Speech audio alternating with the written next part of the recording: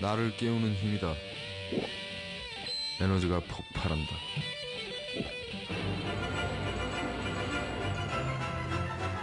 우유는 락이다. 밀크매니아 서울우유